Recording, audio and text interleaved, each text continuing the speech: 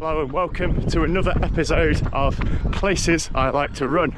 And today I'm going to be joining you from a place in Burton on Trent called the Washlands.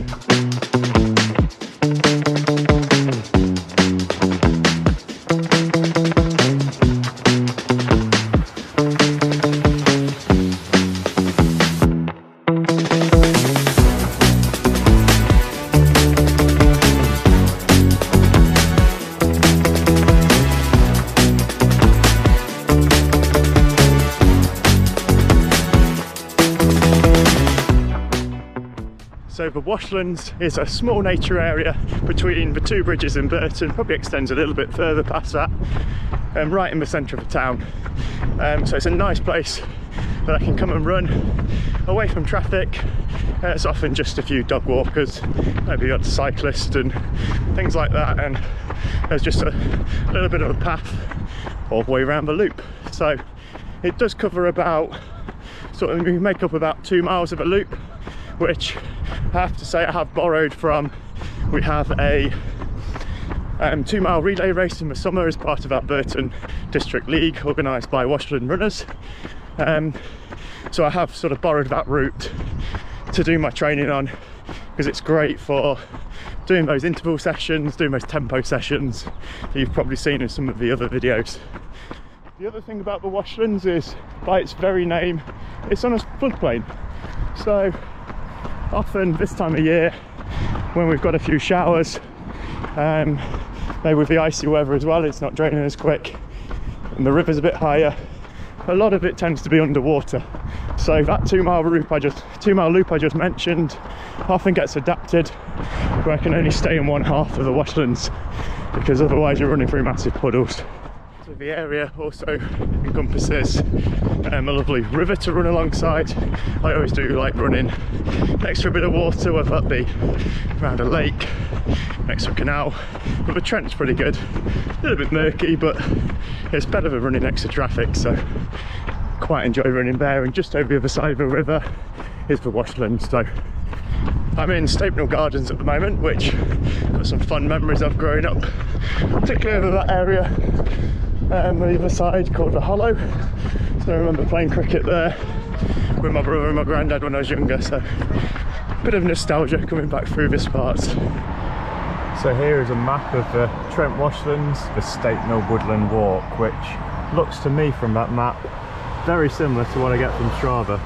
Something that I start around here, run out this way, sorry, run sort of this way round, round back this way, and do a full loop there loop this bit. So that takes around two miles to do that. And it looks like there's quite a few different trees to see on the way although as I'm going through on my tempo session or intervals I'm often not noticing those in the background. Most of the time just looking at the watch seeing when my interval will end. So yeah there's some trees to look out for too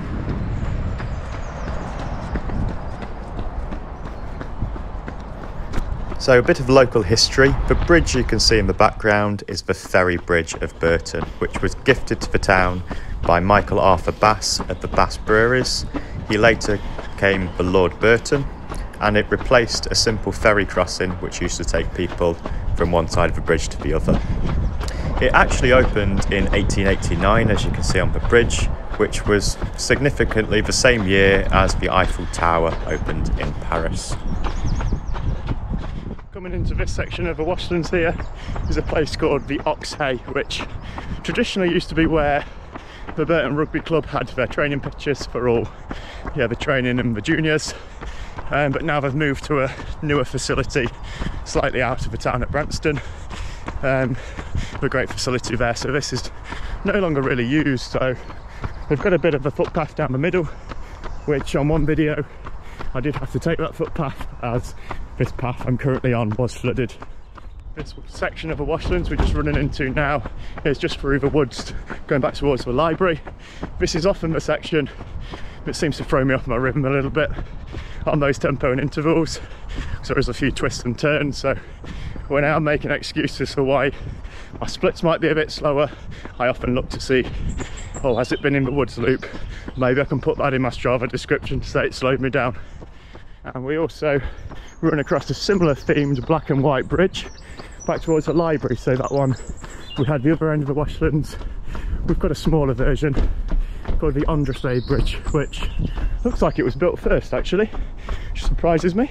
But yeah, it's been up since 1884 and it's still up with me running across it, so that's a good sign. So the library is usually where I start and finish my loop.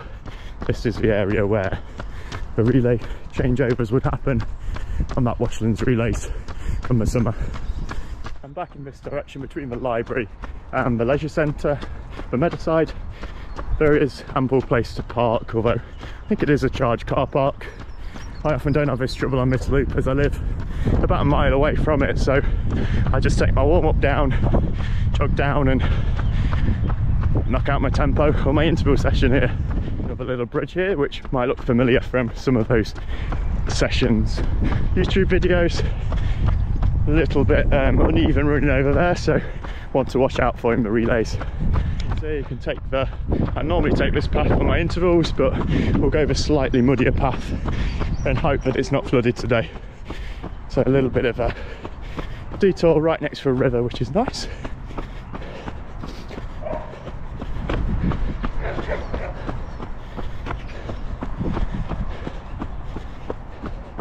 Just on the other side of the ferry bridge now, so come across some swans, which I do see most days here by running by the river, but I know it's not probably a bit rare if you're watching from somewhere else. I know we have had some viewers previously on the channel from as far as North Carolina, so let me know in the comments if you don't see many swans or if there are any interesting wildlife around where you go and see on your runs. Be interesting to know.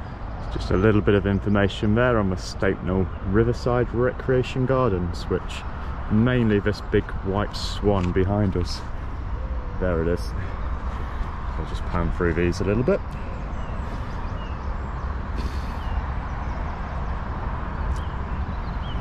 Some pictures there.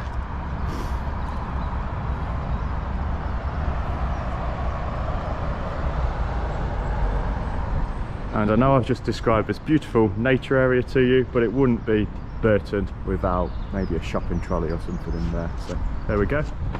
So it's time to leave the Washlands now, just heading back through Stapenhill Gardens and back towards home now before work. So just going to thank you all for listening, for watching along and the support of the channel. Um, please do let me know in the comments what are your favourite places to run. It'll be interesting to know and find out maybe some new routes near where you are if you're local, maybe some that haven't tried before. See you in the next one.